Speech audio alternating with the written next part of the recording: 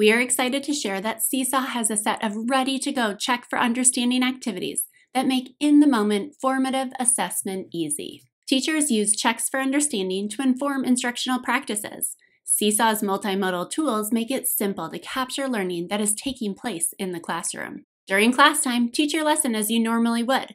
No need to change the scope and sequence, just add time for students to complete a check for understanding activity at any point during the lesson. Choose an activity from our Check for Understanding activity collection and assign it to your students.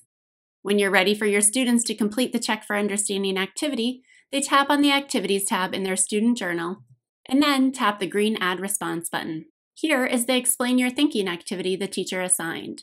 Notice that this activity can be used universally across subject areas. Students can respond to this activity in reading, in math, in science, or social studies. Learning is easily captured using one or more of the multimodal learning tools in Seesaw. This first grade class was learning about summarizing a story. Students use the camera tool to take a picture of the cover of their book, and then use the microphone tool to summarize the story, giving the teacher insight into the student's ability to summarize. Fergus and Zeke take place in a classroom.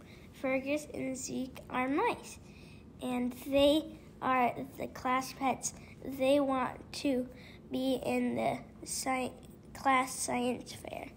Check out our step by step guide and the Check for Understanding collection on Seesaw to get started.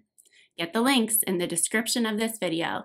To find more trainings on how to use Seesaw, check out web.seesaw.me forward slash training. See you again soon here at Seesaw.